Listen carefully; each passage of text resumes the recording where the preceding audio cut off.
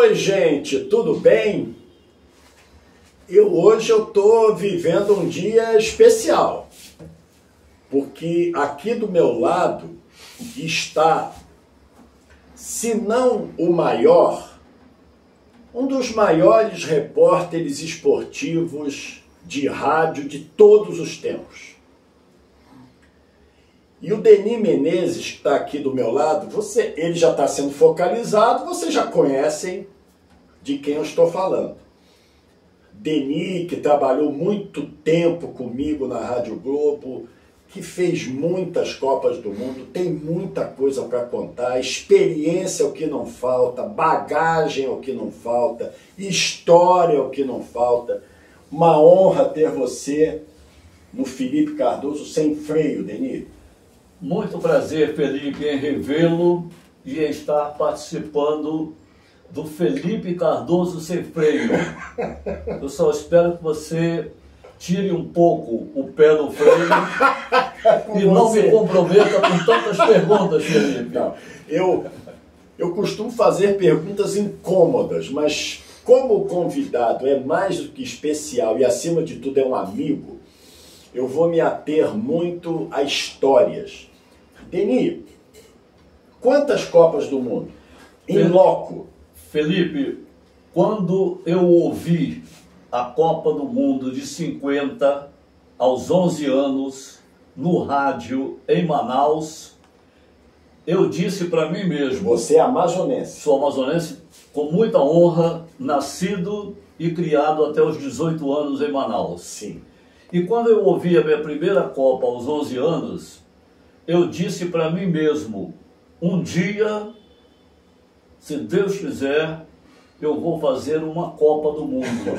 e fez? Mas Deus foi muito generoso comigo e eu fiz oito Copas do Mundo consecutivas, de 70 a 98, Felipe. Agora, Denis, você saberia mensurar qual foi a Copa com cobertura mais difícil que você fez? Foi a primeira. A de 70? A de 70. Por quê? Porque na época a Embratel não garantia às emissoras de rádio circuito por Você muito foi por tempo. que rádio? Globo? Foi, a primeira Copa foi a convite do Valdir Amaral na Rádio Globo. Perfeito. Na época em que ele transmitia um tempo e o Cury outro. Ah, era essa época. E que nós fizemos a Copa precisamente porque a Embratel não garantia circuito a todas as emissoras, tipo uma rede. Três rádios se juntavam para fazer Era um pool. um pool de rádio, exatamente. Então, é, essa Copa foi complicada porque nós tínhamos meia hora por dia para fazer os boletins, que na realidade, para cada emissora, era de 10 minutos. Olha só. E a gente não podia resumir as notícias do dia da seleção brasileira em 10 minutos. Mas assim, tivemos que nos adequar, fazendo a, a transmissão diária em 10 minutos apenas. No dia do jogo, cada, as emissoras abriam a jornada 15 minutos antes da bola rolar e fechavam a jornada 15 minutos depois que a bola parava. Então era complicado por esse aspecto. O som era muito ruim dele? Não, o som era muito bom. Era muito bom. Era muito bom. Foi a primeira Copa para o Brasil, também transmitida pela televisão. E eu me lembro como se fosse hoje. Você sabe como é que eu assistia os Jogos do Brasil em 70? Eu morava em Santa Teresa. Eu via numa televisão pequenininha, preto e branco, ao lado do meu pai. Assisti todos os Jogos do Brasil, vibrei com o tricampeonato nessa televisãozinha pequenininha. Denis, qual foi o jogo mais difícil na Copa de 70? Foi o da Inglaterra? Com certeza, foi o jogo mais complicado. A Inglaterra tinha uma seleção muito boa, que havia sido campeã na Copa anterior, com jogadores extraordinários. Uma E- Copa polêmica, né? Uma Copa um tanto quanto polêmica. Agora, o Brasil era superior à Itália e ganhou a final pelos próprios méritos. Mas não é demais lembrar que a Itália fez uma semifinal com Contra a direito à prorrogação e num campo muito pesado. Com muita chuva. Foi muito desgastado para a final. Exatamente. E, em que, e, e a Alemanha deveria ser o adversário do Brasil na final. Seria mais difícil a Alemanha? Muito mais difícil. E não foi, Felipe, porque o principal, o cérebro, o jogador da, da seleção da Alemanha, Beckenbauer, já tinha tido um problema e jogou com o braço enfaixado. E esse foi Esse jogo foi para prorrogação. foi para Itália e Alemanha. Exatamente. E, e a, a Itália celebrou a passagem para a final, que era a terceira da história dela, depois de 34 e 38, quando ela se tornou a primeira seleção duas vezes consecutivas campeã do mundo, como se tivesse ganho o título. O título. É. E a Itália demonstrou um desgaste muito acentuado nesse jogo final com a seleção brasileira. E a seleção brasileira usou o Jairzinho no auge da forma, com muita velocidade, para decidir aquele jogo. Em cima do Faquete. do Jacinto Facchetti.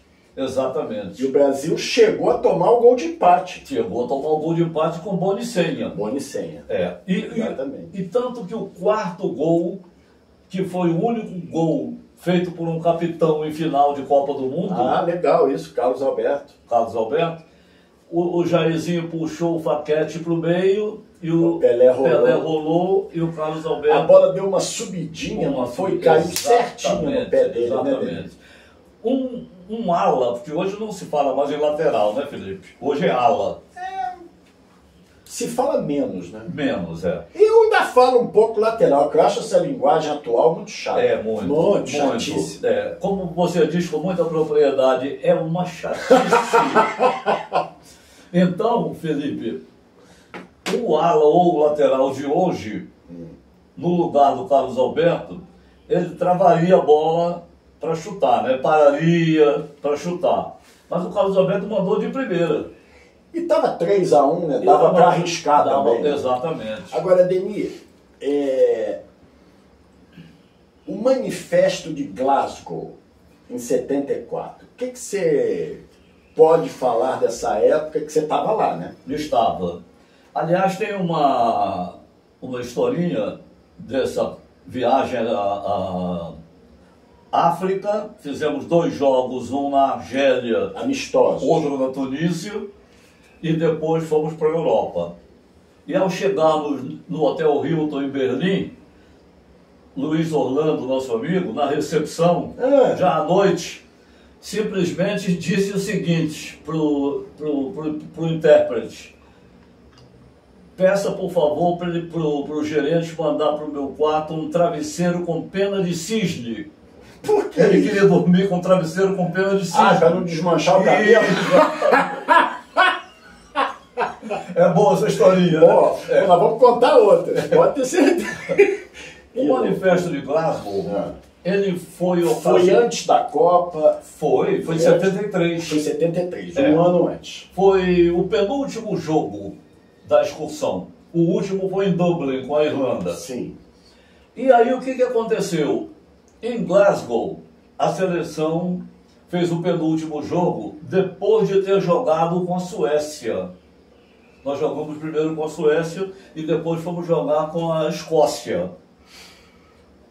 E na Suécia, em época de pleno verão, Luiz Pereira e Leivinha, que jogavam no Palmeiras e depois foram para o Atlético de Madrid, Sim, onde até hoje o Luiz Pereira é diretor da divisão de base, verdade. fizeram uma graça. Eles fizeram num passeio de barco umas, uma, um agrado para umas suecas que estavam de topless, de É, biquíni, é. E um Elas fotógrafo suecas bonitas. bonita, loura, de olhos azuis, aquele negócio todo. E um fotógrafo de um jornal paulista, não me lembro se da Folha ou do Estadão, Sim. clicou e mandou. Olha. No dia seguinte, o Luiz Pereira ligou para casa e perguntou assim, tá tudo bem, tá tudo bom, papá? A dona Marilu disse assim, olha, aqui tá tudo bem. Marilu, mulher do mulher Luiz Pereira. Aqui tá tudo bem, mas aí deve estar muito melhor. Eu gostei de ver as fotos no jornal. Gente, já tinha publicado no dia seguinte. Dia seguinte. Olha só. É. Aquilo era um escândalo na época. Pô, um negócio de louco. Década de 70. né? É, 73, né? Pois é, década de 70. Então, Felipe, é, no jogo seguinte, que foi em Glasgow, Glasgow. quem chegava sempre primeiro ao estádio era o José de Almeida, O administrador. administrador que levava num papelzinho a escalação da seleção. Nessa época não havia assessor de imprensa. Era melhor, né? Era melhor, não atrapalhava. É, não atrapalhava. É. Então, eu, e o Zé de Almeida me tratou de uma forma, eu também chegava muito cedo ao estádio, ele me tratou de uma forma Fria. que me causou estranheza. É? Eu falei, eu falei, Zé de Almeida, tá tudo bem, amigo? Tá, tudo tranquilo. Bom, resultado e resumo da história. O que, que você tinha a ver com isso? Nada. Nada. Não, mas é que nós já estávamos proibidos Ah! de conversar com os jogadores, de gravar, de fazer ao vivo, quando eles chegassem ao jogo. Ah, então deixa eu entender. Essa foto já. Eles já não davam entrevista antes. Não, eles, a foto foi feita na Suécia. Sim, foi. E o jogo seguinte foi em Glasgow. Sim, aí é que começou Aí que começou o atrito. o atrito. Aí É. que eles passaram a ser mudos. É. E aí eles Entendi. começaram. é, nenhum dava entrevista. Eu falei, Nem Chirol, o técnico, nem, ninguém. ninguém. Eu falei, Chirol, vamos falar sobre o. Admildo Chirol. É, disse, não, não, não, não, deixa Não posso Depois, é depois. Bom, resultado, eles pararam, não falaram antes, durante e depois nos jogos com a Escócia, em Glasgow, nem no jogo com a Irlanda, em Dublin, Que foi que foi o último da excursão. É. Isso acabou como, Denis? Rapaz, depois de muito tempo, houve sempre quem dissesse que o idealizador do manifesto de Glasgow, Sim. assinado por todos os jogadores, houve quem dissesse que tinha sido ideia do Piazza, que era o zagueiro, e outros diziam que tinha sido ideia do Cláudio Coutinho. Houve alguém.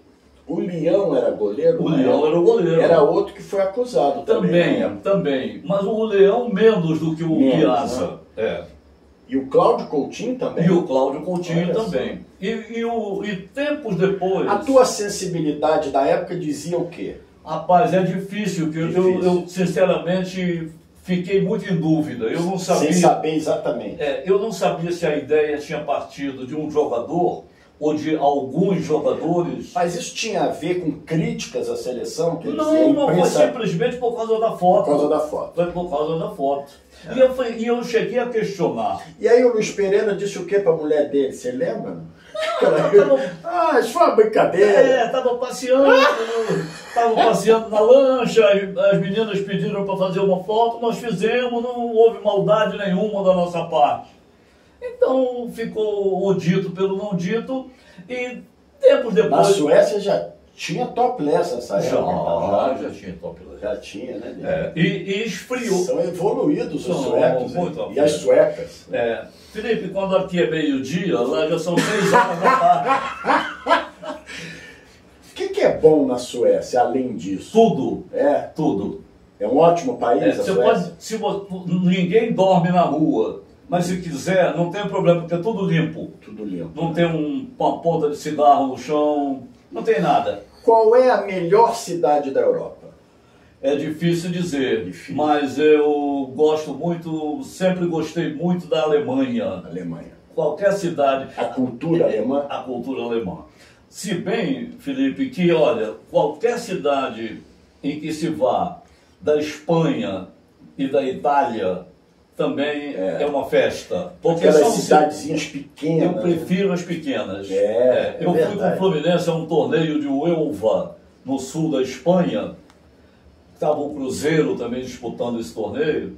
Uma coisa realmente É outro mundo. É né? outro mundo, É gostosa demais, gostosa demais. A Escandinávia é a minha viagem de consumo. Eu espero fazê-la um dia ainda, apesar de todo o frio que faz.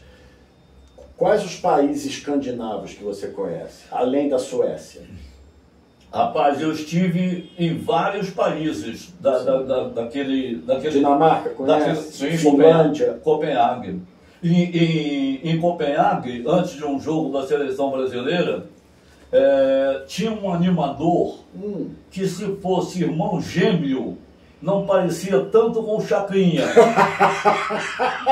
o velho guerreiro Não, e ele, e ele imitava o Chacrinha antes do jogo. imitava? Exatamente. E ele era dinamarquês? Dinamarquês, com óculos igual do Chacrinha É. e com as bailarinas E dava e, e buzina também. buzinada. um negócio realmente impressionante. Por isso é que eu sempre digo, de uma forma muito modesta, mas no meu conceito, a televisão só teve dois gênios, o Chacrinha e o Chico Anísio. Chacrinha, Chico Anísio. Silvio Santos não é gênio, não, Danilo? É, é um bom apresentador. Bom, Mas Chacrinha e Chico Anísio, sem nenhuma dúvida. É, não necessariamente nessa ordem. Nessa né? ordem. É. Agora, Deni, a Copa de 78, ela estava marcada para a Argentina ganhar? É o que dizem, Felipe, que a Argentina ganharia do Peru, como ganhou de 6 a 0, se precisasse ganhar de 7, de 8, De 10. de 9, de 10, que estava tudo esquematizado. Talvez tenha sido, eu costumo usar às vezes talvez, porque você só fala de uma coisa com muita segurança. Se ela acontece. Exatamente. Talvez dentro dos regimes militares, Sim. tanto do Brasil quanto da Argentina, tenha sido a Copa mais preparada para um país Um ganhar. país ganhar. E quase perdeu na prorrogação para a Holanda. Você lembra? Exatamente. Gol É. Que a Holanda perdeu? É, exatamente. Foi aquele jogo de 3 a 1 né? Isso, que foi um a um no tempo normal. Normal, exatamente. Um Que a um. seleção, a, a Holanda, já vinha com uma boa base de 74. 74 perdeu a final. É, que perdeu a final. Agora, houve uma situação na Copa de 78, e essa eu me lembro perfeitamente, que eu já era, já tinha mais idade. Os jogos não foram no mesmo horário. Brasil e Polônia e Argentina e Peru. Tinham que ser no mesmo No horário. O horário. Brasil ganhou da Polônia 3 a 1 Certo. e a Argentina jogou depois. Depois, já, Já sabendo. Já foi uma vantagem enorme para a certeza. Argentina. É, a Argentina já entrou, Felipe, naquele jogo, sabendo de Que precisava ganhar de 4. Exatamente. E foi um primeiro tempo igual, né? Foi, Lembra foi, dele? foi. Os, os colombianos até que. Peruanos. Perdão, os peruanos até que. É. Digamos, disfarçaram. É, vamos disfarçar um pouquinho, vamos perder um gol é, aqui, É, né? é, Teve uma bola na trave. é. É, tempo. exatamente. E eu até comento muito com o Roberto Dinamite quando eu vou à Super Rádio Tupi. E é bom, antes que É. você fale sobre isso, Felipe, é, dizer o seguinte, que a seleção da Argentina escapou da derrota no 0 a 0 com o Brasil. Que o Gil perdeu um gol na frente. Faltou mais ousadia pro Brasil aquele Exatamente. Faltou, faltou. Achou que o 0x0 era bom. né? Era bom. Eu comparo, eu comparo, é, foram jogos distintos, mas eu comparo o 0 a 0 do Argentina e Brasil de 78 Sim. com o Flamengo e o Liverpool da final de 2019. Faltou ousadia pro Flamengo? Eu, eu achei que faltou. Por quê? Porque em 81 o Flamengo liquidou o Liverpool em 28 minutos. Mas o Liverpool que ganhou do Flamengo era muito melhor do que Não. aquele. Não era, não, não? não, não, não, Não, não, não. O Liverpool de 81 Sim. era superior ao, Era ao superior. de 2019. Eu não me lembro É, era, era 81. superior. O Liverpool vinha de cinco campeonatos Ingleses, ingleses, seguidos. é, quase seguidos, Quase três seguidos. e depois mais Olha, dois. não lembrava. Você vê como são as É. coisas? Todo mundo atribui aquela, aquela vitória, ah, porque o Flamengo não ganhou de ninguém. Ganhou sim, ganhou sim. O, o, o Flamengo esse time de 81 era melhor do que o do Jorge Jesus? Nenhuma dúvida. Era. Nenhuma dúvida. É só você comparar as individualidades. Sim.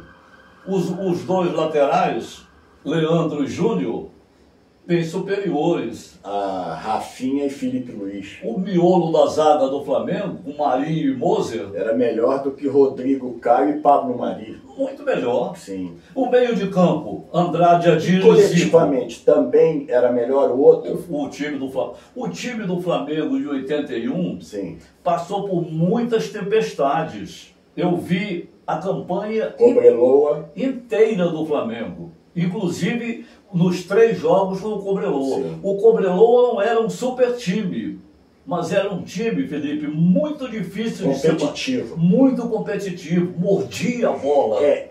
E ganhou o jogo em Calama na marra, né, Denis? Foi, exatamente. Você estava ali? Estava. Você estava em Calama? Tava, tava. Eu acompanhei o, o Flamengo todo naquela Libertadores. Todo, todo, todo, todo. Como é que você analisou, então, já que a gente está falando de Copa do Mundo, dois minutinhos para a gente encerrar a primeira parte da entrevista com o Denis, porque a gente vai voltar na Copa de 82. É, aquele jogo de Calama, houve o terceiro jogo no Centenário, em Montevideo, Centenário. onde vai ser a final da Libertadores no dia 27. Exatamente. Aliás, com o Centenário totalmente reformulado. Gastaram um dinheirão Um na dinheirão, reforma. é. Cerca de 23 milhões de reais. E a, a, a, a Comebol injetando muito dinheiro nisso, porque Isso. a Comebol tem 11 anunciantes, né, Felipe? 11 anunciantes. É. O jogo lá de Montevidéu, quando já estava decidido, com os gols do Zico, é, como é que se analisou aquela atitude do Anselmo no Mário Soto? Muito providencial, porque havia uma razão para que a equipe do Cobreloa iniciasse um tumulto no jogo. Aí o Flamengo evitou O isso. Flamengo, o- por inteligência com o do, jogo ganho. por inteligência do Carpegiani. O Uhum. Carpegiani foi pouco criticado, mas deveria ser mais elogiado por ter tomado aquela atitude. O, o, o Ao Carpegiani. contrário, foi muito criticado. É, Ah, não precisava aquilo. é, precisava. Sim, mas o Mário Soto, o que, é que ele fez no jogo anterior? Não foi? Exatamente. Lá em Calama? E o, e o, o Carpegiani está entre os técnicos de futebol que mais aprenderam jogando. Jogando. É, porque o técnico aprende com o, te- o- com o técnico que O teve. Filipão aprendeu jogando. Não, o Felipão foi um lateral muito fraco. Ele foi, ele foi bom técnico. Foi bom técnico. É, mas- Foi, né, Denis? Foi- é. Aliás, está fazendo aniversário ontem ou hoje, 73 anos, O, Filipão. o, o Filipão, né? É, hoje, dia 9 de novembro, O, o dia que estamos gravando. 7-3. 7 e 3. Certo. Olha, essa é a primeira parte com Denis Menezes, uma parte só com Denis, mas é muito, é muito pouco. A gente volta já já aqui no Felipe Cardoso sem freio com o grande Denis Menezes. Antes de encerrar, Denis, essa primeira parte, só um minutinho, Marcelo, 30 segundos eu encerro. Tem um casal em Jaguaquara, na Bahia, é, próximo a Jequié. Emílio e Mara adoram Denis Menezes. Mando um grande abraço para o Emílio e para a Mara e dizer que se há um estado que eu gosto muito é o estado da Bahia. Baiano, como diz o próprio baiano, é muito arretado, oi Felipe. A gente volta em instantes com a segunda parte da nossa entrevista com o grande Denis Menezes.